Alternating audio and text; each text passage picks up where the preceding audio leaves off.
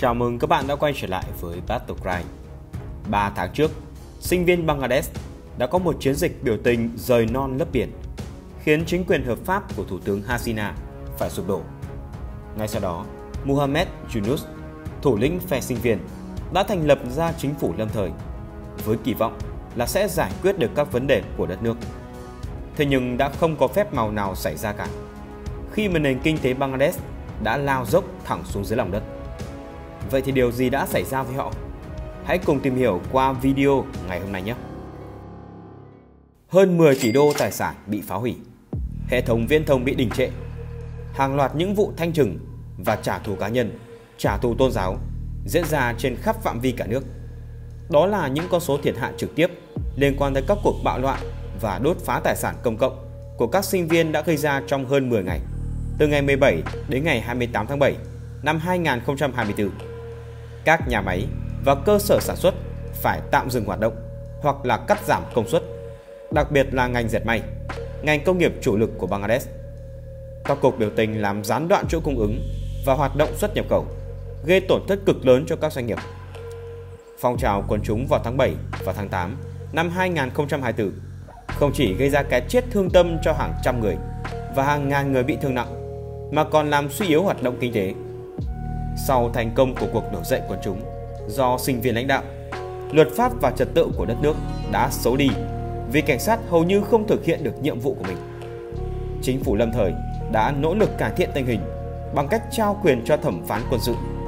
Thế nhưng luật pháp và trật tự thì vẫn chưa được khôi phục hoàn toàn. Điều này đã gây ra một mối lo ngại không chỉ dành cho người dân mà còn cho các nhà đầu tư cả trong và ngoài nước tiềm năng quan tâm tới Bangladesh. Ước tính kể từ khi các cuộc bạo loạn diễn ra từ giữa tháng 7, tính đến ngày mùng 5 tháng 8 năm 2024, mới chỉ có 95 người thiệt mạng trong các cuộc bạo loạn đó, trong đó thì có 14 cảnh sát. Tuy nhiên, tính đến cuối tháng 9 năm nay, số người thiệt mạng đã lên tới 1.000 người. Tại sao vậy? Chẳng phải là bà Hasina đã phải rời khỏi đất nước và họ thì thành lập một chính phủ mới rồi sao? Mọi thứ đến từ nguyên nhân cốt lõi gây nên các cuộc biểu tình, đó là nạn thất nghiệp. Các cuộc biểu tình từ chống chính phủ đã chuyển dần sang cướp phá các loại tài sản công cộng, trong khi hệ thống an ninh thì không hoạt động. Không những vậy, các vụ thanh trừng tôn giáo và trả thù cá nhân đã diễn ra hàng loạt. Nếu các bạn theo dõi các trang mạng xã hội thì sẽ không khó để tìm thấy được các video về những nhóm bạo loạn này hôi của và đốt phá tài sản, đặc biệt là các xưởng dệt may. 3.500 nhà máy may mặc của quốc gia Nam Á này chiếm khoảng 85% trong tổng số 55 tỷ đô la xuất khẩu hàng năm của nước này. Thế nhưng tình trạng bất ổn đã gây ra sự gián đoạn đáng kể cho ngành công nghiệp then chốt này. Khandaker Rakif Islam, Chủ tịch Hiệp hội các nhà sản xuất và xuất khẩu hàng may mặc Bangladesh cho biết rằng chỉ riêng việc đốt phá và cướp bóc các nhà xưởng đã khiến cho ngành dệt may thiệt hại 400 triệu đô la tài sản. Đây thì mới chỉ là phần nổi của tảng băng chìm mà thôi. Khoảng 25% nhà xưởng dệt may của Bangladesh thuộc sở hữu của các ông chủ Ấn Độ và họ đang tìm cách chạy khỏi mớ hỗn loạn này. Đi kèm với đó, theo tờ Business Standard của Bangladesh, số đơn hàng của Bangladesh đã giảm tới 40% trong chưa đầy một tháng.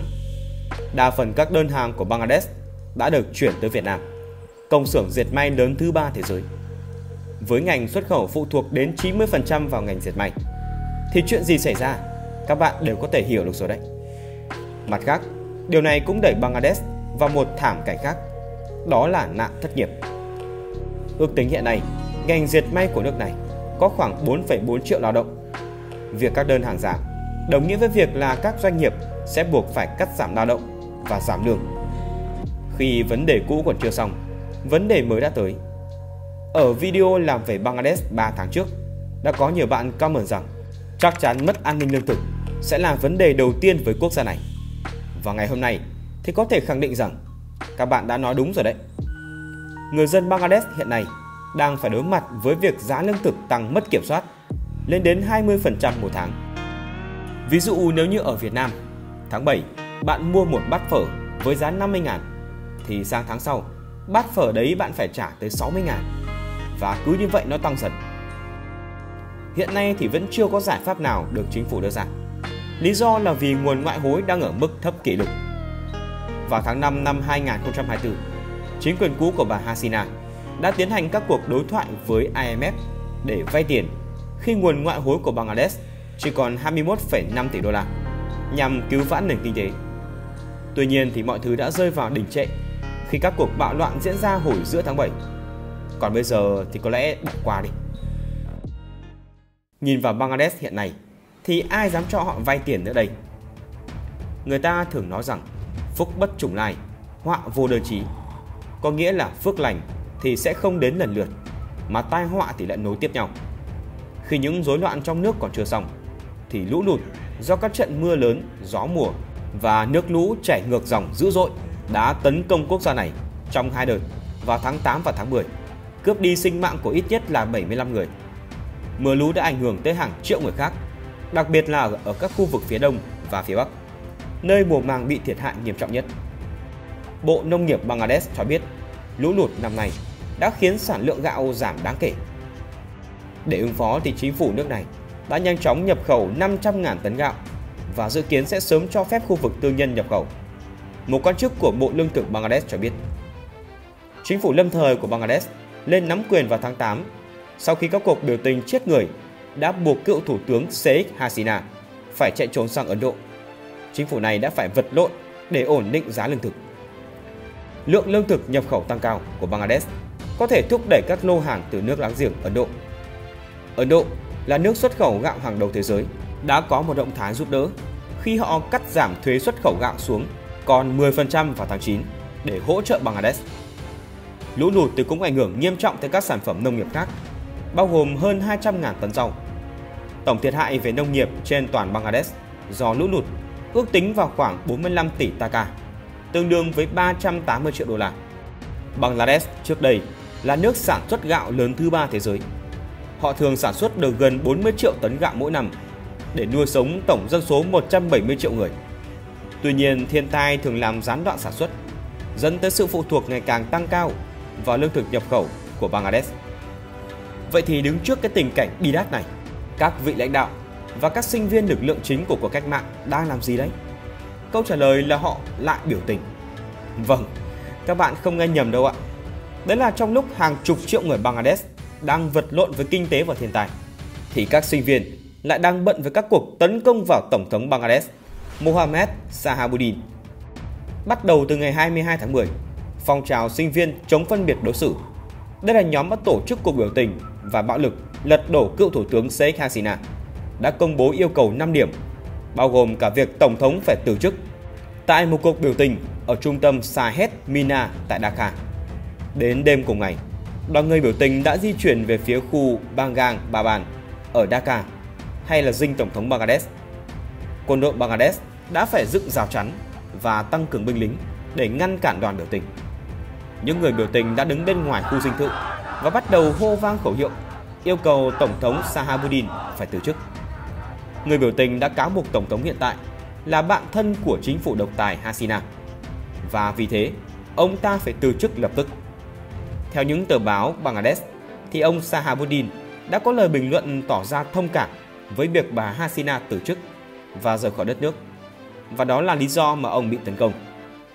Ngoài yêu cầu Tổng thống Sahabuddin phải từ chức, phong trào sinh viên chống phân biệt đối xử còn đòi bãi bỏ hiến pháp được viết vào năm 1972 và kêu gọi phải viết một bản hiến pháp mới trong bối cảnh năm 2024.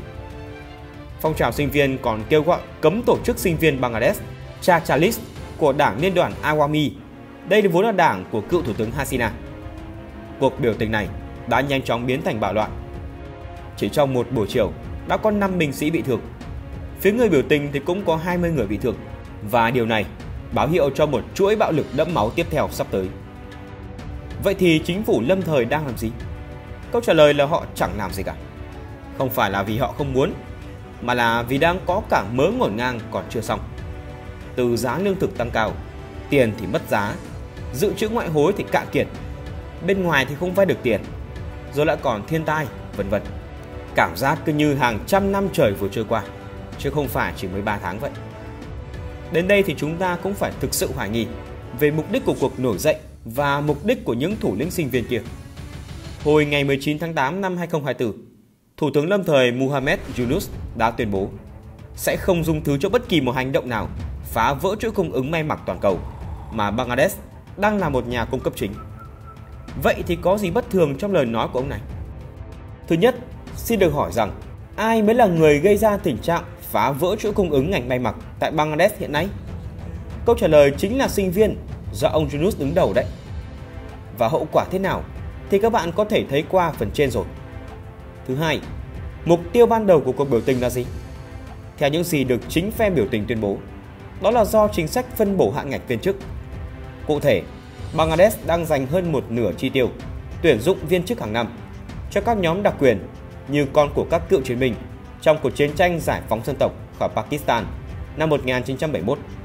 Khi những cuộc biểu tình ôn hòa dần dẫn tới bạo loạn, thì tòa án tố cao Bangladesh đã hủy phán quyết của tòa thượng thẩm với tuyên bố 93% chỉ tiêu viên chức nên tuyển dụng theo năng lực, 5% dành cho gia đình của các cựu chiến binh, 2% cho các khu vực kém phát triển. Phán quyết khôi phục Internet và nới lỏng lệnh thiết quân luật và chính quyền hy vọng rằng tình hình sẽ hạ nhiệt. Thế nhưng tình hình sau đó đã ngược lại khi người biểu tình vẫn chưa chịu mà còn đẩy mọi thứ lên cao hơn. Và kết quả là dẫn tới sự sụp đổ của chính phủ đương thời của bà Hasina và tình trạng hỗn loạn như ngày hôm nay. Mohamed Yunus được gọi là thủ lĩnh sinh viên và được đưa lên chức thủ tướng với lời hứa là sẽ thực hiện lời hứa của ông ta, đem lại công bằng trong chính sách phân bổ viên chức và đưa đất nước bước ra khỏi thời kỳ khó khăn. Thế nhưng kể từ khi lên nắm quyền cho tới nay, bạo loạn vẫn tiếp diễn với nhiều phe phái hơn. Bằng chứng là số người thiệt mạng và số tài sản bị đốt phá được các tờ báo của họ trích dẫn ngày càng tăng. Vậy là chính quyền lâm thời được sinh viên tạo ra đã tự phá vỡ chuỗi cung ứng dệt may, khiến cho nền kinh tế của Bangladesh ngày càng trầm trọng hơn. Sau đó thì chính những người này tuyên bố là sẽ khôi phục lại chuỗi cung ứng, mà bỏ qua yêu cầu của sinh viên, đó là chính sách phân bổ hạn ngạch. Đến đây thì chúng ta không thể không đặt ra câu hỏi về mục đích ban đầu của cuộc nổi dậy này. Nó có thực sự là để giải quyết vấn đề khó khăn của đất nước hay không? Hay chỉ là mưu đồ chính trị, tranh quyền đoạt vị và có kẻ thứ ba thao túng từ phía sau?